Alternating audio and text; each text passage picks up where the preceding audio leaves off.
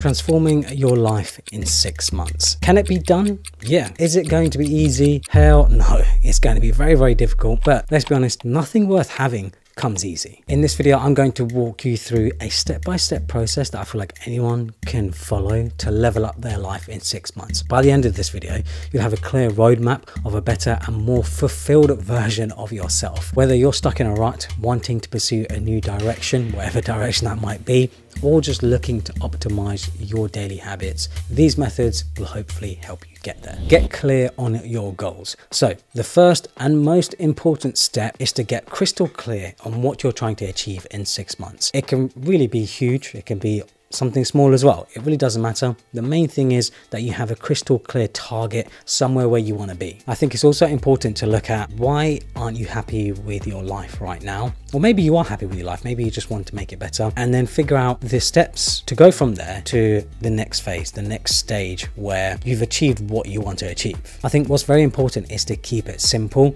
because I found from experience that people overcomplicate it. They look at all the stuff that they need to do to get to their goal and it kind of just becomes overwhelming. And i go through exactly the same thing. When i know a task or a project or something is really big it can become quite overwhelming for me. I'm like i don't really want to do this i'll try and push it off. But then i've realized actually breaking it down into smaller tasks can really help. A book that i really like which i'm sure most people will be aware of is atomic habits by james clear. Try to get better 1% every day. And after a while, those 1% changes that you make, those 1% improvements that you make can really add up, can really compound over a long period of time. Even though this might seem very obvious, but it is super crucial, is writing down your goals, making sure you have them written down somewhere. Whether it's on paper, maybe you have it on a piece of paper or a sticky note and you put it at, on your desk or put it somewhere where you read it every morning, maybe on your mirror when you get up in the morning or something like that. Just make sure you have it somewhere so you can clearly see the goals you're trying to get to because you have to keep reminding yourself, okay, this is why I'm doing this.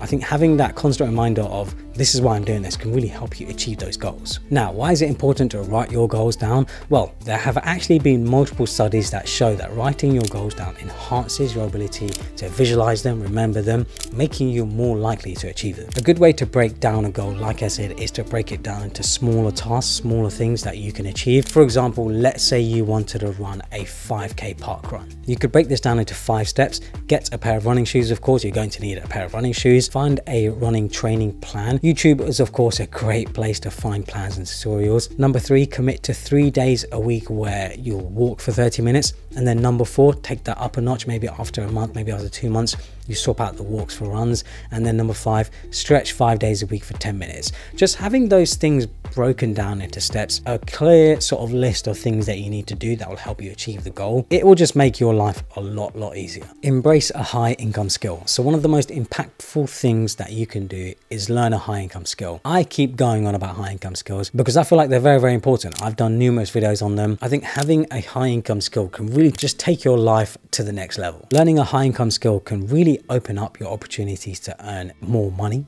to increase your earning potential and just gain more freedom in your work and life as a whole. The idea is that you learn something that you can then use to make more money. So skills like video editing, web design, public speaking, sales, marketing, copywriting, those are just to name a few, there are so many other skills that you can learn that can help you make more money. The main thing is that they are skills that are in high demand and can actually pay well. They can also scale well if you know how to scale them. And the great thing is that many of these high income skills can also filter through to other aspects of your life. So public speaking is a great example. If you can embrace the idea of speaking in front of people or even speaking in front of camera like I do, it can really help you understand what it takes to communicate, understand what it takes to talk to someone or a group of people. That can of course help you in so many other parts of life if you can embrace public speaking because now you'll have the confidence of being able to just talk to someone, being able to talk to in front in front of lots of other people, and sort of just share whatever you want to share. One of my biggest life changes was learning how to edit video, create content, sort of just do social media in general. Content creation and video editing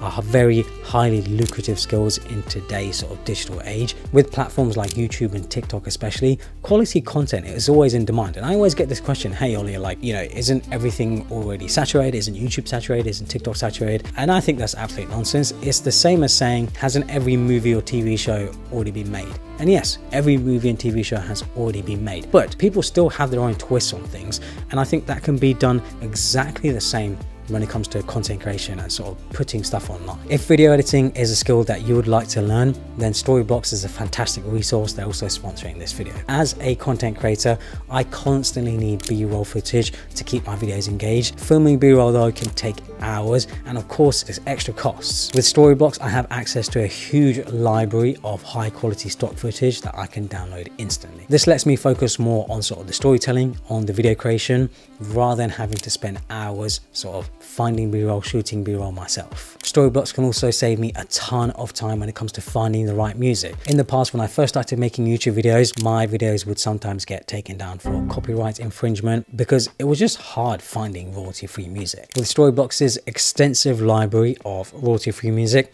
I don't have to worry about copyright claims anymore and I can quickly find the perfect track. My editing process has never been easier. Storyblocks has everything I need in one place, whether I'm editing for YouTube, whether I'm editing for Instagram or TikTok. Their creator stock library contains tons of different footage, 4K footage, templates, music, sound effects, and images. Plus their unlimited downloads for one predictable subscription cost makes my workflow efficient and budget friendly. The best part about Storyblocks is the peace of mind it provides. Everything I download, I know is 100% royalty free, so I don't have to worry about legal issues. If you want to elevate elevate your video editing game and save valuable time and money, I highly recommend checking out Storyblocks. Head over to storyblocks.com slash online or click the link in the description below. Another question I get is, how do I learn a high income skill? Where, you know, where do I sort of go to learn a high income skill? YouTube really is the best place. YouTube is a great place to find so many different resources for learning anything and everything.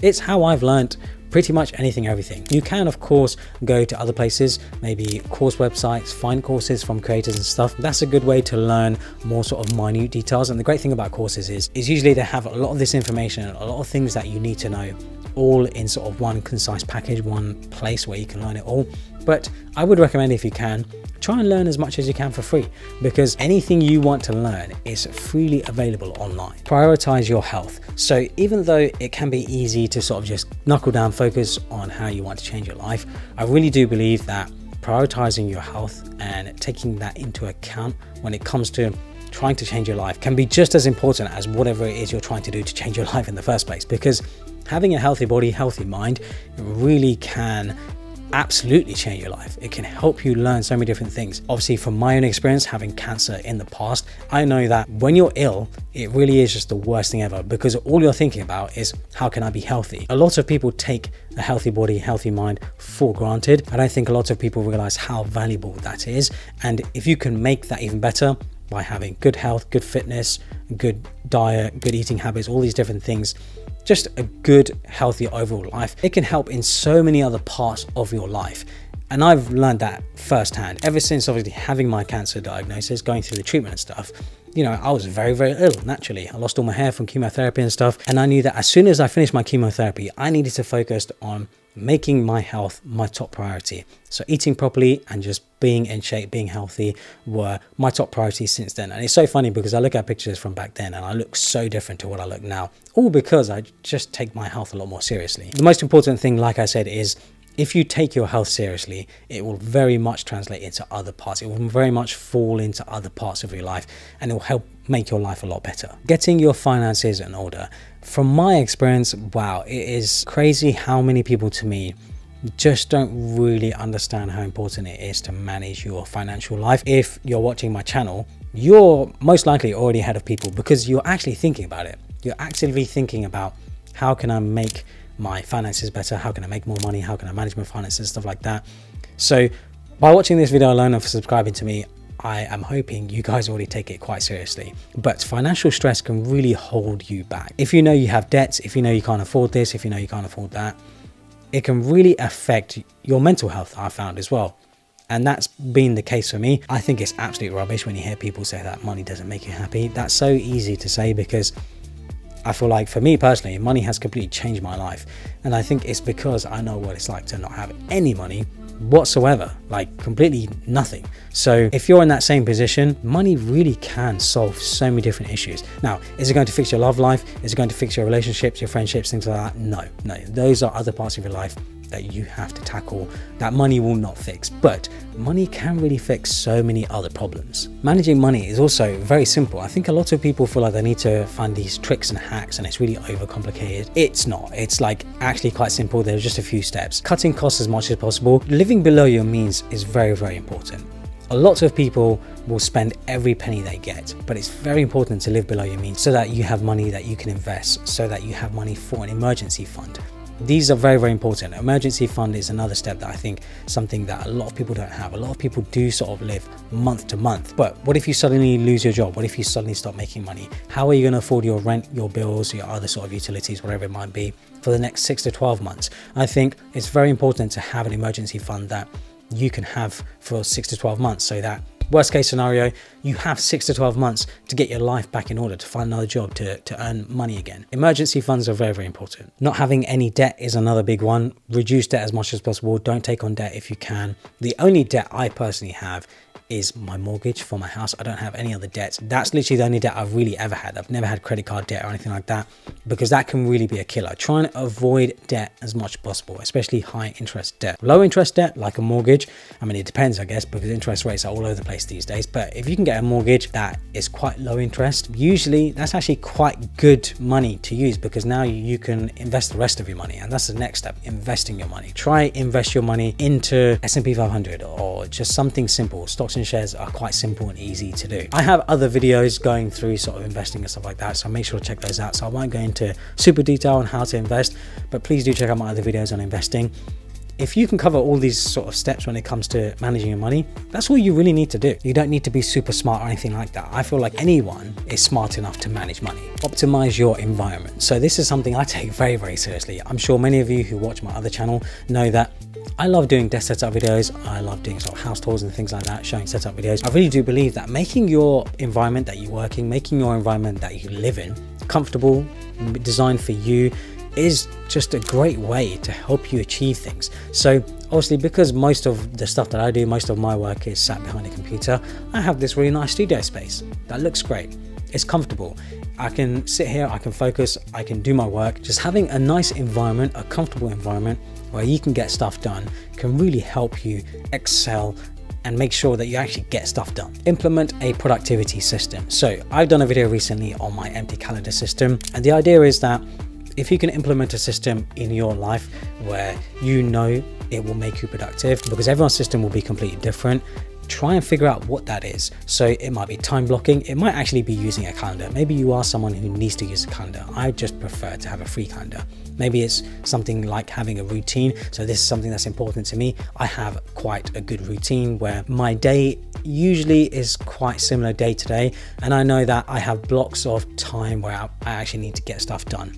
So having a sort of system in place where you can be focused on getting stuff done, again, that's just very important. Working out that system for you, trying to figure out what works for you, figure that out. Like it will really help you achieve your goals. Consume inspiring content. So naturally, a lot of people complain about YouTube, Instagram, TikTok, you know, you're sort of doom scrolling, constantly looking through stuff. But I really do feel like YouTube, Instagram, and TikTok can very much be tailored to actually help inspire you to make your life better. A lot of people though, just don't tailor their feeds and sort of follow the right people.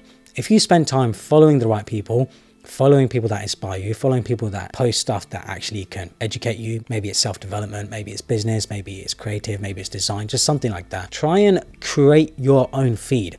Don't let the algorithm show you just nonsense because it's so easy to fall into that trap. And this is why I love YouTube, Instagram, and TikTok. You know, I don't have any limits on how I use those apps. The main thing is though that I have tailored my feeds and the people I follow to see content that inspires me, to see content that motivates me, to see content that educates me. Now, these apps can either ruin your mind or change your mind. You ultimately decide. And then finally, take massive, massive action. Nothing you do in life, no big changes or anything like that will ever happen without massive action. Like I said earlier in the video, nothing worth having comes easy because anything with value usually requires some hard work. It usually requires some steps to get there. Otherwise, of course, it wouldn't be valuable. You have to be willing to get uncomfortable, to do things differently, to change your life, to change your mindset. I remember when I was in my early 20s, the massive action I took was actually because of something else. And I think for lots of people who need to take massive action, you need something that is going to drive you. So, of course, for me, it was that just didn't have anything. I was broke, I didn't have any money, I was living at home with parents, and I just thought to myself, I don't want this. So I basically just stopped any distractions. At that time in my life, I was very much a hermit, you could say. I kind of just stayed at home, focusing on trying to work out how I could make money, learning new skills, sort of just making myself better. I was just educating myself. Now, of course, that means making some sacrifices. Like I said, I sort of stayed at home. I didn't really see friends. I sort of just focused on doing whatever I needed to do. My social life took an absolute hit, but I knew that I needed to do this if I wanted to achieve the goals that I wanted to achieve, if I wanted to get out from the position that I was currently in. So taking massive action, I think, is the best way to sort of shock yourself into a system, shock yourself into doing something that you need to do to achieve your goals. It's funny because now I think to myself, six months actually isn't that long. Like I feel like, can you really do much in six months? But boy, like you really can. When I think back to all the things that I've done, wow, like I've sometimes changed my life in a month or in a couple of months. You know, health, uh, finances, all these different things. Like your life can change very, very quickly as long as you're fully focused on that thing yeah, you can change your life even quicker if you really need to. But a lot of people find it difficult to make the commitment. And I think being disciplined enough to keep the commitment, to stay, to sort of stick with it, that is the thing that's going to really help change your life in three months, six months, 12 months, years, whatever it might be. For anyone interested, I've put together a six month transformation planner. It's a free template that you guys can download and you can use to hopefully change your life as well. So hopefully you guys enjoyed this video. Follow me on Instagram and Twitter and subscribe for more.